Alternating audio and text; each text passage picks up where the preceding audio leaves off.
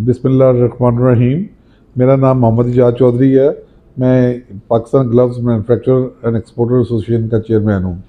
हमारी एसोसिएशन का क़्याम उन्नीस सौ अठहत्तर में हुआ था और उस उस वक्त से लेके अब तक ये अपने मेम्बरान की खिदमत में कोशा है। हमारी एसोसिएशन के दो और इदारे जो अंडर द अम्ब्रेला एसोसिएशन चल रहे हैं, एक उसका नाम है L P D I leather product development institute, और दूसरा C P C cleaner production centre.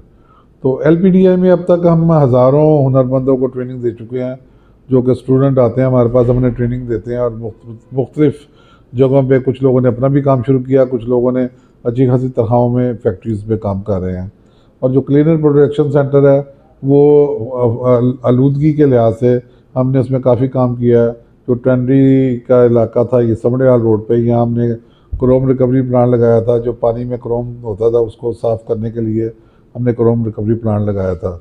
तो अलहमदिल्ला वो भी चलता रहा। मौजूदा ही कोरोना के दिनों में उसका ट्रांसफार्मर जल गया था।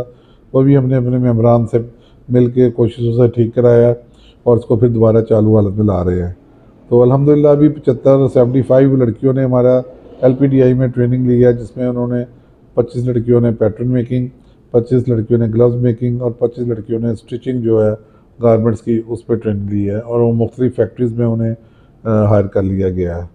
तो अल्लाह का लाख लाख शुक्र है कि हम हर तरह से जो भी कोई आए हमारा मैं बहुत शुक्र हमारी एसोसिएशन हकूमती इदारों और मम्बरान के दरमियान रबते का करदार अदा करती है, जिसमें हमने मुख्तलिफ़ एग्ज़िबिशन भी लगाई हैं, मुख्तलिफ़ मुल्कों में एग्जीबिशन लगाई हैं, मुख्तलिफ़ मुल्कों में हमने ट्रेड डेलीगेशन भेजे हैं और अभी भी पाइपलाइन में दो तीन ट्रेड डेलीगेशन मौजूद हैं, जो ही उनकी अप्रूवल आती है। हम अपने मेंबर्स को बताते हैं और वो इंशाल्लाह उनको बाहर भिजवाएँगे।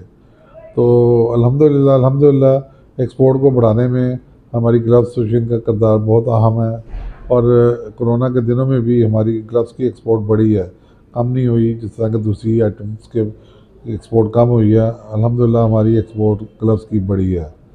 तो ये हमारा जो अदारा, वो हर तरह से अपने मेम्बरान की सहूलत के लिए काम कर रहा है। हर हर महीने हमारे पास नई मेंबरशिप आती है, नए एक्सपोर्टर आते हैं, जिनको बिल्कुल तो किसी चीज़ का पता नहीं होता। तो हम उनके लिए मुख्तलिफ़ सेमिनार अपने यहाँ करवा अरेंज करवाते हैं। मुख्तलिफ़ किस्म की चैम्बर के तावन से भी और हमारे यहाँ स्टेट बैंक के तावन से भी, दूसरे बैंकों के तावन से भी अक्सर हमारे यहाँ सेमिनार होते हैं, जिससे हमारे मेम्बरान को काफ़ी आगाही हासिल होती है। जी ग्लव्स के हवाले से मैं एक अहम बात करना चाहता हूँ।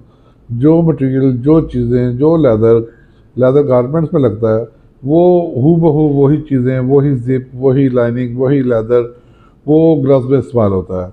लेदर गारमेंट्स का जो रिबेट है, वो गवर्नमेंट ने काफ़ी ज़्यादा रखा हुआ है, जबकि उसी मटेरियल में, उसी आइटम में, उसी चीज़ों के से जो ग्लव्स बनता है, उसका इन्होंने रिबेट काफ़ी कम रखा हुआ है। तो मेरी हुकूमती इदारों से ये रिक्वेस्ट है कि जब मटेरियल सेम है जिपें सेम है हर चीज़ से, सेम है लेदर सेम है तो इसको ग्लव्स को भी लेदर गारमेंट्स के बराबर लाया जाए और उसके मुताबिक इसका रिबेट सेट किया जाए। हाँ रिबेट के हवाले से मैं एक और बात करना चाहता हूँ। हमारा जो रिबेट है ग्लव्स पे थ्री पॉइंट टू फोर है जबकि leather garment seven point five four है। तो जो लेदर उसमें इस्तेमाल होता है जो केमिकल उस लेदर में इस्तेमाल होते हैं वही केमिकल इम्पोर्टेड चीज़ें जो लेदर गारमेंट्स में इस्तेमाल होती हैं वही ग्लव्स में इस्तेमाल होती हैं। तो उस सिलसिले में मेरी आला काम से गुजारिश है कि उसको देखा जाए और, और हमारे ग्लव्स को लेदर के बराबर लाया जाए ताकि हम दूसरे मुल्कों के साथ कम्पीट कर सकें। दूसरे नंबर पे मेरी मिनिस्ट्री ऑफ़ फॉरेन अफेयर से और मिनिस्ट्री ऑफ़ कॉमर्स से ये दरख्वास्त है कि हमारी रिकमेंडेशन पे जो वीज़े के लिए हम अप्लाई करते हैं रिकमेंडेशन लेटर देते हैं तो एम्बेसी से रिक्वेस्ट की जाए कि उसको कंसिडर करें पहले हमारे जो रेगुलर कस्टमर थे, जो रेगुलर हमारे एक्सपोर्टर बाहर जाते थे, उनके बाद चार चार, पाँच पाँच साल के वीज़े होते थे। अब जिन्होंने एग्जीबिशन लगाई है, लाखों रुपये लगाया है, बाद को वीज़े नहीं मिलते, और अगर मिला तो चार दिन का, पाँच दिन का मिला। जबकि एक्सपोर्टर वहाँ रहना पसंद नहीं करता, वो हमेशा एग्जीबिशन अटेंड करके वापस आता है। तो मिनिस्ट्री ऑफ़ फॉरन अफेयर से और मिनिस्ट्री ऑफ़ कॉमर्स से दरख्वास्त है कि इस सिलसिले में उन हाई लेवल पे एम्बेसी से बात की जाए। दूसरे नंबर पे गवर्नमेंट ने एक सर्कुलर फोर निकाला था, जो ट्वेंटी ट्वेंटी में निकाला था। उसमें उन्होंने सारी इंडस्ट्री के लिए बिजली का जो यूनिट प्रिंटेड भी रखा था, सारी एसोसिएशनों को उन्होंने सहूलत दी है। ग्लव्स एसोसिएशन को उन्होंने इसमें नहीं रखा। तो मेरी मिनिस्ट्री ऑफ़ कॉमर्स से दरख्वास्त है कि हमारी ग्लव्स एसोसिएशन का नाम भी इसमें शामिल किया जाए और जो बिजली का जो यूनिट है, पर यूनिट जिस दूसरी एसोसिएशन को दिया गया है, वही हमें दिया जाए। थैंक यू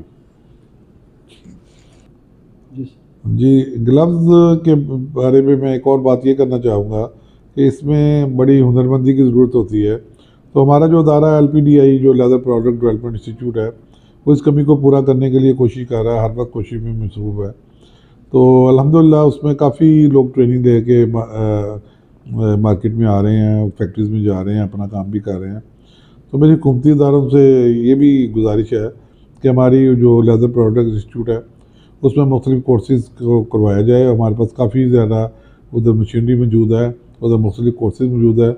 इसमें शूज़ अपर है, उसमें लेदर गारमेंट्स है, उसमें स्टिचिंग का है उसमें ग्लव्स की स्टिचिंग का, इस तरह मुख्तलिफ़ चीज़ों का उसमें हमारे पास सिस्टम मौजूद है।